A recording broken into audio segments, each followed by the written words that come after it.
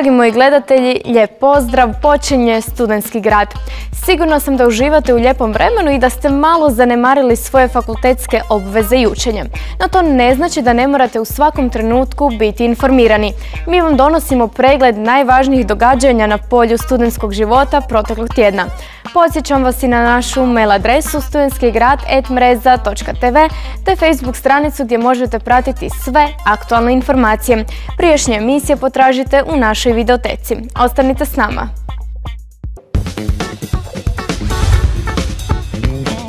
Danas donosimo. Strani studenti bili su na danu dobrodošlice.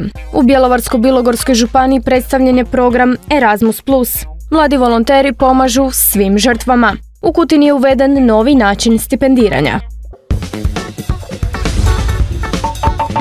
Što znači živjeti i studirati saznali su strani studenti na danu dobrodošlice u organizaciji Ureda za međunarodnu suradnju Sveučilišta u Zagrebu. Više u priči Le Koran. U ljetnom semestru ove godine na sveučilištu u Zagrebu u sklopu programa Erasmus gostovat će oko 350 stranih studenata. Najviše studenata pohađat će filozofski fakultet, njih čak 40 a nešto manji broj ekonomski i pravni fakultet. Najviše studenata dolazi iz Poljske i Španjolske, iza kojih slijede zemlje njemačkog govornog područja. Taj broj se povećava iz godine u godinu, ja bih rekla da se on zapravo udostručava i mi sada očekujemo s obzirom da smo ušli u EU da će taj interes još više e, i porasti. Međutim, ako gledamo E, da e, ukupno imamo negdje preko 70 tisuća studenata i kada se oni rasprše, da tako kažem, po svim našim fakultetima, onda zapravo to je još uvijek nedovoljan e, broj da bi osjetili da su ti strani studenti u većoj mjeri prisutni na našim fakultetima, ali ohrabruju činjenica što iz godine u godinu raste broj i kolegija koji se nude na engleskom jeziku i studijskih programa, tako da ipak je nekako polako ipak zaživjela ta međunarodna suradnja. Mogućnost studiranja na europskim fakultetima, studentske prakse u europskim institucijama i poduzećima, razmjena znanja s kolegama iz drugih zemalja, upoznavanje drugačijih nastavnih metoda te posljedično veća konkurentnost na europskom tržištu rada samo su neke od prednosti programa mobilnosti. Mnoge studije pokazuju da period proveden u inozemstvu ne samo da obogaćuje život studenta u akademskom i profesionalnom smislu, već unapređuje njihove jezične i interkulturalne vještine. Erasmus je najuspješniji program studentske razmjene na svijetu. Svake godine više od 230 tisuća studenata studira izvan njihovih matičnih zemalja, a gotovo 3 milijuna studenata je participiralo u projektu od njegova početka 1987.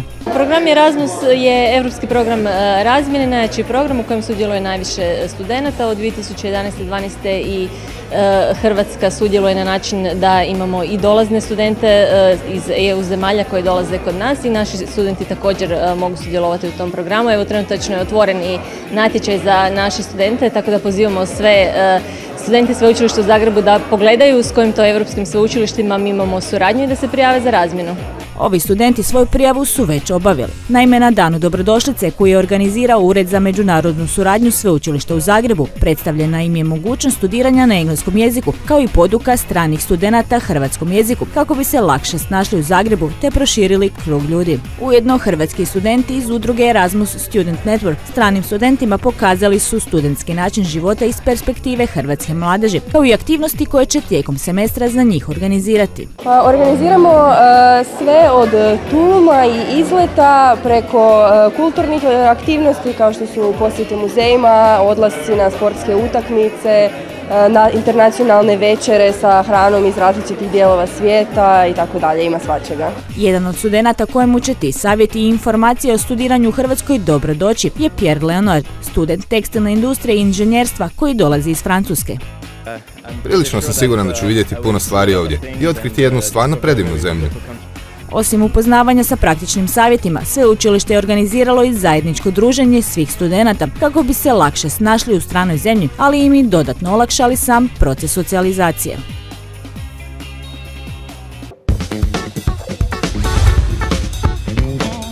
Mladi volonteri pomažu svim žrtvama, bilo da ste žrtva razbojništva, obiteljskog nasilja ili nekog drugog kaznenog dijela ili prekršaja. Za pomoć se možete obratiti na broj telefona 116 006. Dobar dan, kako vam mogu pomoći? Ovo je glas volonterke iz Nacionalnog pozivnog centra za žrtve kaznenih dijela i prekršaja koja će vam se javiti. Nazovete li besplatni telefon 116 006 i potražite pomoć. Broj je standardiziran diljem Europske unije i dostupan radnim danom od 8 do 20 sati. Pružaju se e, usluge korisnicima u smislu pravnih informacija, informiranja općenito e, žrtava i svjedoka i njihovih obitelji o njihovim pravima, gdje ta prava zatražiti, te im se pruža emocionalna podrška, znači ohrabrivanje, razgovor, općenito smo tu ovaj, za, za saslušati svaku njihovu priču. Godišnje se u Hrvatskoj prijavi i do 70 tisuća kaznenih dijela, iako veliki broj slučajeva zbog straha ostaje neprijavljen. Volonteri iz Nacionalnog pozivnog centra su posebno obučeni iz područja prava i psihologije, te spremni pružiti informacije o vašim pravima i načinima da ih ostvarite. Najčešće prvo samo slušam i zapisujem bitne informacije, zato jer želim prvo sažeti o čemu je zapravo riječ i u čemu se slučaj radi i nakon toga tražim bitne informacije po bazi. Moji razgovori, razgovori uglavnom traju oko pola sata, 30 minuta i znači imamo pozivati nas nazove i predstaviti svoj problem. Mi ga naravno saslušamo i zatim krećemo s nekim potpitanjima u svrhu rješavanja problema i naravno dajemo emocionalnu podršku. Osobe koje pružaju pomoć su isključivo volonteri, kojih je svakim danom sve više. U zadnje vrijeme su sve više zainteresirani i nerijetko dobivamo e-mailom. Ovaj, nam se javljaju mladi studenti jer žele e, zapravo u studij odraditi nešto korisno i nešto korisno i za njihov studij za buduću struku. U početku nisu bili, mislim bili su uvijek zainteresirani jer e, se oglašavamo preko volonterskog centra Zagreb ali što, što imamo više volontera, to je više zainteresiranih jer čuju od svojih prijatelja, to jest i kolega i u biti na taj način nam se isto jave. Među volonterima je i Maja koja se nacionalnom pozivnom centru pridružila kako bi stekla dodatno iskustvo. Studirala sam socijalnu pedagogiju i kod nas zapravo se malo pričalo o žrtvama, većinom smo pričali o počiniteljima kaznih dijela zapravo i njihovom tretmanu, pa me zanimala druga strana kako se žrtve zapravo ponašaju i kako se odnose u kaznenom sustavu u Hrvatskoj. I ovo volontiranje mi se učinilo kao jedno eh, kao jedna dobra prilika za stjecanje nekog iskustva koje je usko vezano za moj faks, eh, fakultet. Eh, I učinila mi se dobra prilika za pomoći ljudima kojima je to potrebno. Nova regrutacija volontera bit će u rujnu, nakon čega će oni primljeni proći pravnu, psihološku i praktičnu edukaciju. Nakon toga edukacija se nastavlja jednomjesečno kako bi usluga korisnicima bila što bolja. Imamo dosta edukacija i zapravo su prilično važne, pogotovo pravni, pravni dijelovi edukacije, budući da nisam po struci pravnik, tako da stvarno dobijemo mnogo informacija, ali baza nam se uvijek nadopunjuje novim informacijama. A edukacije su dobre čisto zbog rada na sebi, edukacije, znači komunikacijske i socijalne vještine. Ako ste žrtva imate pravo na psihološku i drugu pomoć, na sudjelovanje u kaznenom postupku, na savjetnika, materijalnu i nematerijalnu štetu, te na informaciju suda, državnog odvjetništva, istražitelja ili policije. Prevladajte strah, prijavite nasilje. U Bjelovarsko-Bilogorskoj županiji predstavljen je program Erasmus+, program Europske unije za obrazovanje, osposobljavanje, sport i mlade. Hrvatskoj ovoj godini putem programa Erasmus Plus na raspolaganju 85 milijuna kuna. Dovoljno dobar mamaz da svi zainteresirani kreću u izradu svojih programa, a vezanih uz mlade obrazovanje i sport. Mogućnosti za koje se stvari može dobiti ta financijska potpora su vrlo velike. One uključuju aktivnosti mobilnosti, dakle različita volontiranja, studiranja u inozemstvu, stručno usavršavanje, osposobljavanje i tako dalje.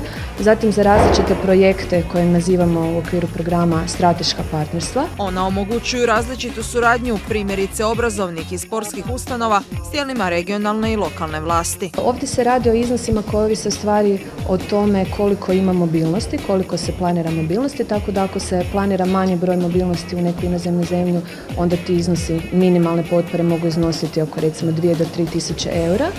A, one projekte koje mi financiramo u okviru agencije za maksimalni iznosi su 450 tisuća eura, znači za ove strateška partnerstva koje traju tri godine, a na razini Europske komisije, dakle određene aktivnosti koje se prijavljuju direktno u Brisel, tu su iznosi i puno veći. Inače, u program Erasmus Plus već su ušli pojedini raniji projekti, čija provedba traje nekoliko godina, a s područja Bjelovarsko-Bilogorske županije njih 20 vrijednih 205 tisuća eura. U okviru programa Mladi na dijelu, tu naše županije uopće nema na karti Republike Hrvatske. Zaista ovom prezentacijom današnjom želim na neki način promijeniti te e, loše statistike i potaknuti sve naše lokalne dionike koji mogu biti prijavitelji projekta, znači to su odgojne i obrazovne ustanove, institucije, to su udruge građana, da bi se prijavili, da bi prepoznali sebe u ovim e, mogućnostima koje se nude. Hoće li to biti tako, pokazat će vrijeme, a s njim raste i količina novca koji će Erasmus Plus nuditi. Tako će do 2020. Hrvatskoj biti na raspolaganju više od 830 milijuna kuna. Projektom Most između nas udruga Zamisli potaknula je raspravu na temu mogućnosti mladih s invaliditetom. Projekt je osmišljen s ciljem uključivanja mladih osoba s invaliditetom u društveni i javni život, a ključne točke regionalne rasprave bile su obrazovanje, podrška, socijalna skrb i zapošljavanje.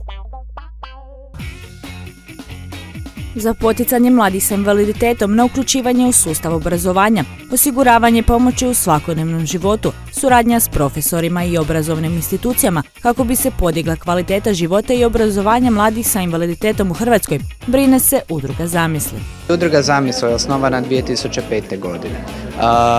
prvenstveno smo bili orijentirani prema mladima s invaliditetom, a kroz zadnjih par godina smo razvili i sustav informiranja mladih. Znači sada se bavimo, imamo dvije grupe aktivnosti, znači prema mladima i osobama s invaliditetom i prema svim mladima kroz infocentar za mlade, regionalni infocentar za mlade i ostale projekte. 2005. smo osnovani, imamo jako veliki broj korisnika, provodimo puno projekata i dosta smo aktivni. Jedna od aktivnosti ove udruge je i organiziranje regionalnih rasprava u sklopu projekta Most između nas, koje su financirane od strane Europske komisije kroz program Mladi na dijelu. Regionalna rasprava u Zagrebu pod nazivom Život mladih sa invaliditetom u zajednici posljednja je od četiri regionalne rasprave koja okuplja mladi sa invaliditetom. Regionalna rasprava je okupila jako veliki broj mladih sa invaliditetom koji će izraziti svoja mišljenja, iskustva i dati prijedloge kako unaprijediti sustav podrške, kako unaprijediti e, socijalnu skrb, e, zapošljavanje i obrazovanje mladih s invaliditetom, s ciljem što većeg uključivanja mladih s invaliditetom u svoju zajednicu. U procesu odrastanja, osamostaljivanja i aktivnog uključivanja u zajednicu, mlade osobe sa invaliditetom suočavaju se s višestrukim ograničenjima i zaprekama. Kakav život imaju mlade osobe sa invaliditetom u zajednici, na svom primjeru objasnila Ivona, inače bivša studentica Fakulteta političkih znanosti. Na ovu raspravu je došla kako bi mogla svojim iskustvom studiranja kao osoba sa invaliditetom doprinijeti što još treba u sustavu nadopuniti da bi jednostavno sljedeći studenti, ali također e, osobe s invaliditetom koje su bilo kako društveno aktivne imale bolje uvjete i za studiranje i za uključivanje u društvo općenito i kroz zapošljavanje i svaki aspekt života. Ivona ističe kako najveći zajednički problem osoba sa invaliditetom je nepostojanje jednakih uvjeta kao i za ostale članove društva. Mislim da je to individualno i jako zavisi o e, postupku oštećenja, odnosno invaliditetu same osobe i zapravo je e, iz perspektive ne znam, osobe sa tjelesnim oštećenjem je drugačije nego iz perspektive osobe sa oštećenjem vida ili sluha, ali mislim da je e, zapravo zajedničko to što nije osigurana razumna prilagodba u smislu da se svakoj osobi osigura ono što treba da ima jednake uvjete kao i ostali e, članovi društva i mislim da je to osnovni problem i nekako u sustavu je to uređeno tako da e, puno institucija radi jedan dio neke podrške pa onda se ne mogu dogovoriti što je čija nadležnost i mislim da je tu zapravo veliki problem. Nažalost, još sustav nije tako oformljen, sinhroniziran kako bi postojali e, sustavni preduvjeti kako bi svi imali jednake uvjete. Znači, za sada mladi sa invaliditetom se uključuju u svoju zajednicu na temelju svojih individualnih sposobnosti. No dok nadležne institucije ne odrade svoj posao, ovi mladi ljudi se u međuvremenu moraju boriti za svoja prava kako bi neki postali, a neki i dalje ostali uključeni u život zajednice. Što više takvih rasprava, to će e, mladi sa invaliditetom biti e, motivirani i što jače se uključiti u samu svoju okolinu, u svoju zajednicu i postati kvalitetni sudionici. Znači ne samo korisnici nekakvih socijalnih primanja ili nešto tako, jednostavno da svojim kapacitetima pridonose cjelokupnom boljitku društva. Mogućnost za samostalan život mladih osoba sa invaliditetom uglavnom se svodi na izbor između života s roditeljima ili života u instituciji, a trebalo bi im zapravo omogućiti pravo na najveću moguću samostalnost kako bi postali ravnopravni članovi društva.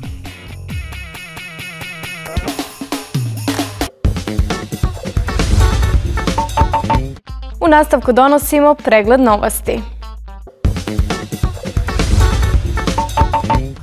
Donesena je odluka o stipendijama od strane Senata Sveučilišta u Zagrebu. Odluka je donesena na prijedlog povjerenstva za dodjelu stipendije i rektorskog kolegija. Ove će se akademske godine dodijeliti dvije vrste stipendija. Stipendije iz Fonda Sveučilišta u Zagrebu za stipendiranje darovitih studenata i stipendije iz javnih proračunskih sredstava.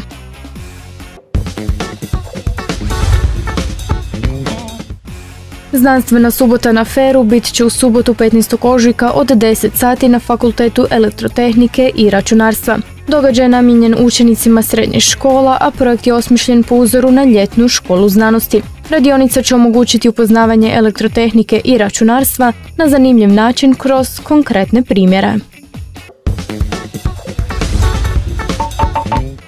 Još uvijek je u trajanju mjesec inovacija i istraživanja. Centar za istraživanje, razvoj i transfer tehnologije već petu godinu okuplja istraživače i studente kako bi obogatili i produbili znanja vezana uz upravljanje inovacijama, transfer tehnologije, pokretanje poduzetničkih projekata.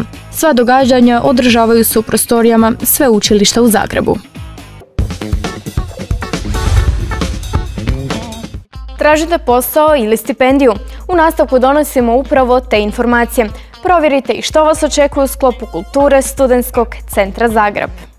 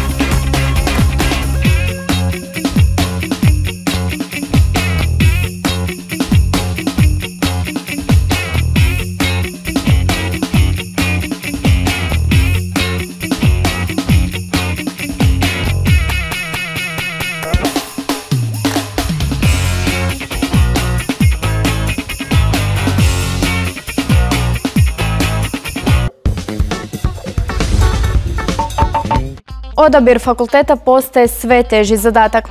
Osim što svi mladi žele studirati ono što vole, pitaju se hoće li s time pronaći posao. U Kutini su tu dilemu odlučili riješiti novim načinom stipendiranja. Sa promjenom vlasti u Kutini je došlo i do promjene načina stipendiranja studenata. Gradonačelnik Kutine Andrija Rudić promijenio je način stipendiranja jer smatra kako pomoć tijekom jedne godine školovanja nije dovoljna, pa tako grad od sada studente stipendira od prve do posljednje godine fakulteta. Prema objektivnim kriterijima, to su odgovornost studenta da redovno pohađa fakultet i daje godine u rokovima, te socijalni status, u ovom je natječaju naglasak stavljen na deficitarna zanimanja. Nažalost, puno novaca nam odlazi na stipendiranje studenata koji, e, nažalost, vjerojatno neće moći naći e, posao u Kutini i tu praksu mi moramo promijeniti. Zato želimo e, identificirati one koji se e, obrazuju za deficitarna zanimanja, koji će, ja se nadam, i mi se svi nadamo u gradskoj upravi, pronaći posao u Kutini i doprinijeti razvoju Kutine. Budućnost je očito na matematičkim znanostima, jer većina od šest novih stipendista upravo je iz tih smjerova. Prema riječima zamjenika gradonačelnika Damira Petrovića, koji je sam profesor matematike, ta zanimanja odabiru hrabri i uporni, koji će po završetku studija sigurno lakše pronaći posao. A do završetka školovanja treba se financijski boriti, pa će stipendija u iznosu od 750 kuna mjesečno biti od velike pomoći. Je praktički cijela stanarina mjesečna, znači roditelji mi moraju dati samo ovako da imam za hranu i to. I ne znam, ja sam sretna što sam dobila stipendiju. Ja sam jako zahvalan ovoj stipendiji jer pokriva mi više od 50% financija za cijeli mjesec. Znači mogu se platiti kartu i dom u Zagrebu i ostane nešto još malo. I nešto malo roditelji još dodaju i njima je velika pomoć, ne moraju me sad toliko puno financirati pa su i oni sretni. Zahvaljujem se na ovoj stipendiji, kao što svi znamo u zadnje vrijeme dosta studentski život i poskupio i hrana i sve pa ovoga, zahvaljujem se, stvarno će mi pomoći. Ove godine ćemo ponovo raspisivati pred kraj ove godine natječaj za stipendije. Ja se nadam da će se javiti veći broj jer smo mi predvidjeli u, našem proračunu novac za 10 stipendija. Tih 10 stipendija će narasti na 20 stipendija već sljedeće godine školske, pa onda na 30, 40, 50 ako bude sreće da uopće imamo toliko studenata koji se obrazuju za zanimanja koja su potrebna gradu Kutinu. Možda će ovakav način stipendiranja mlade dodatno ponukati da bolje razmisle što žele studirati i hoće li nakon toga pronaći posao.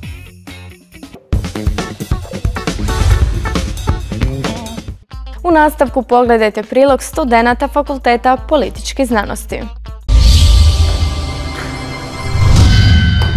Cijelo studentsko doba vodite borbu sa stajanjem u redovima ispred referade. Studenti Ekonomskog fakulteta u Zagrebu odlučili su tome stati na kraj.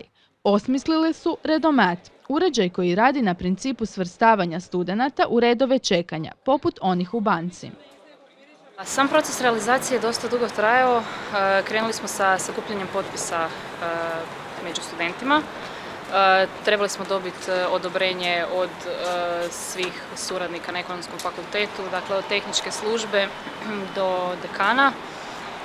Obavili smo jako puno sastanaka, puno mišljenja i u principu na kraju smo uspjeli provesti realizaciju. Projekt je osmišljen u sklopu kolegija Management promjena na kojemu studenti moraju osmisliti i realizirati društveno korisne projekte. Jedan od zaslužnih za realizaciju projekta jest i profesor Omazić. Pa ja se sjećam još dok sam ja bio student, da, da su redovi bili jedan od znakova prepoznatljivice ekonomskog fakulteta. Radi se ipak o najvećem fakultetu ne samo Zagrebačkog sveučilišta, nego i cijeloj regiji. Ono. I u tom smislu, znači, postoje nekakvi pikovi unutar godine zbog upisa kada jednostavno veliki broj studenata dolazi pred referadu i to su ono, ja, ja se često znam šaliti, redovi do Maksimirske ceste. Zahvaljujući redomatu, redovi do Maksimirske ceste su prošlost. Reakcije studenata na ovu inovaciju iznimno su pozitivne. Sa redomatom se uvijek može doznati koji si po redu, može se uzeti prije potvrda, tako da gužve koje su obično bile po 20-30 metara su zapravo smanjile samo nekoliko. Uz se potvrda može se otići recimo u menzu, pojesti nešto i kasnije doći u referadu i zapravo ne gubiti vrijeme na neke nepotrebne stvari. Kako je naša administracija nekad malo spora, zaista mogu pohvaliti da jako brzo se dolazi na red, ali ne samo to, već je i veći red, jer znači naši zaposlenici traže da vi donesete broj i u principu nema sad tu nekog preko, reda, guranja ili tako nešto.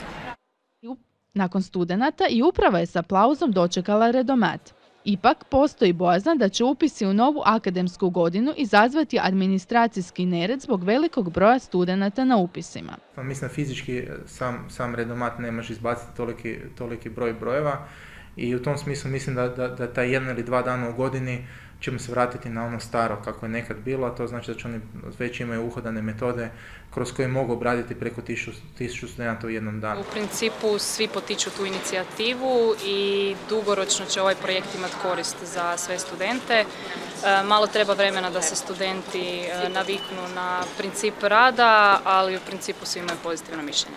Ipak, tih dan ili dva koliko se redomat neće koristiti, ne umanjuje njegov značaj. Druženje u redovima ispred referade studenti Zagrebačke ekonomije od sada će zamijeniti ipak ugodnijim druženjem na kavi.